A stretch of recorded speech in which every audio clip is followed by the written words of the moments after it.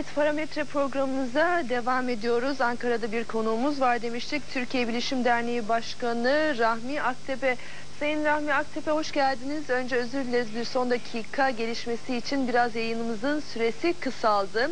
Ee, Avrupa Birliği'nde Avrupa Araştırma Alanı başlıklı bir belgeyle e, özellikle de Avrupa Birliği'nin Amerika ve Japonya ile özellikle de yeni ekonomi konusunda rekabeti hızlandırılmaya çalışıyor ve 6. çerçeve programı oluşturuldu. Sizden 6. çerçeve programı nedir bunu öğrenebilir miyiz lütfen?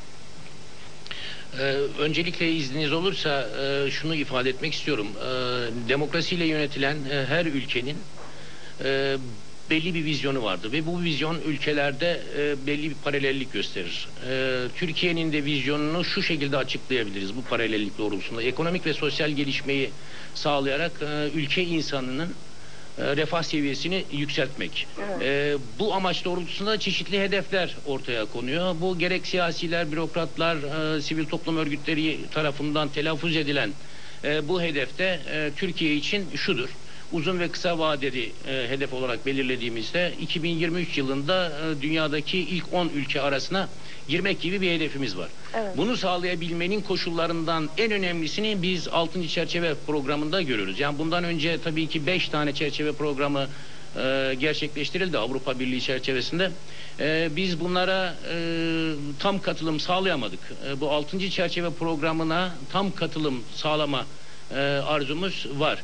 E, ve bunu e, Türkiye'de e, bütün e, kesimlerin e, ikna edilmesi konusunda da çabalarımızı sürdürüyoruz. E, 6. çerçeve programının önemi e, Türkiye'de işte bu bahsedilen e, hedeflere ulaşabilecek e, mekanizmalar açısından çok önemli. Çünkü biz biliyoruz ki bu e, hedefe ulaşman, ulaşmak için e, teknolojiyi e, sadece kullanmak yeterli değil, teknolojiyi üretmemiz gerektiğine inanıyoruz. E, bu birlikteliklerle de e, 6. çerçeve programına e, katılarak teknoloji üretme becerimizi ve kültürümüzü geliştirebileceğimize inanıyoruz.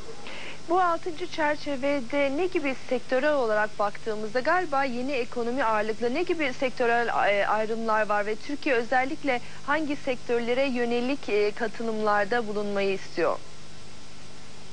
Ee, aslında bu şeyde 7 bölümde ifade edilen çeşitli sektörler alınmış ama e, Türkiye'nin e, şu andaki e, durumu itibariyle bilişim teknolojileri konusunda e, ağırlık e, verebileceğini biz düşünüyoruz ve bunun içinde e, gerek e, TÜBİTAK'ın gerek diğer araştırma e, merkezlerimizin, e, üniversitelerimizin e, bu konuda bilinçlendirilmesi lazım. Yani geçmişteki hatalara bakarak e, 6. çerçeve programından vazgeçme lüksüne sahip değiliz di- diye düşünüyoruz.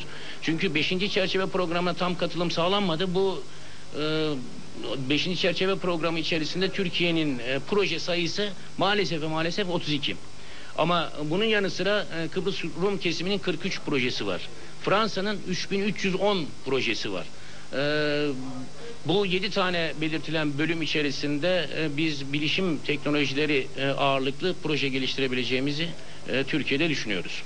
Ne gibi bir kaynak ayrılması gerekiyor? Galiba ülkelerin katılımıyla bir havuz oluşturuluyor. Ardından bu havuzdan, bu fondan ülkelere e, fon veriliyor, kaynaklar ayrılıyor. Bu kaynakların Hı hı, ay- e, evet. ülkemiz en azından bu kaynaklardan yararlanabilmesi için ne gibi e, gerçekleşmeleri yerine getirmesi gerekiyor? Bu 6. çerçeve programında oluşturulacak fonun miktarı 17 milyar euro e, ve belki bir parça daha üzerinde oluşacak. E, Türkiye'nin buna katkı payı da yine tahmini olarak söylüyorum e, 300 milyon euro ile 350 milyon e, euro arasında e, bir rakam. E, Ve daha sonra da oluşturulacak projelerden buradan e, bu fonlardan para talep ediyorsunuz. E, Bu mekanizma bu şekilde çalışıyor. Efendim peki burada bir kurul mu kuruluyor bu Avrupa Birliği ile özellikle de bu 6. çerçeve programıyla e, ilişkileri yürütmek için bir fon talep etmek için veya hangi sektörlere yoğunlaşacağını belli etmek için e, bir fon mu bir e, kurul mu kurulacak nasıl bir prosedür işleyecek?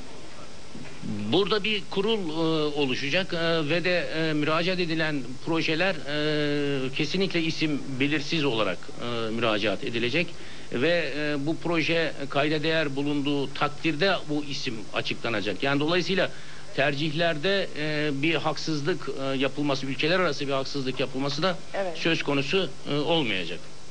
E, bir e, komisyon aracılığıyla bu projelerin seçimi söz konusu. Tabii ki bu burada e, 6. e, çerçeve programının ruhunda şu da var. İşbirliklerini arttırmak? COBİ'lerin gelişimini e, sağlamak e, gibi. E, dolayısıyla e, partner bulmakta bu proje e, anlamında çok önemli. Yani diğer ülkelerden, Avrupa Birliği ülkelerinden e, partner bularak e, projeye müracaat etmek de çok önemli.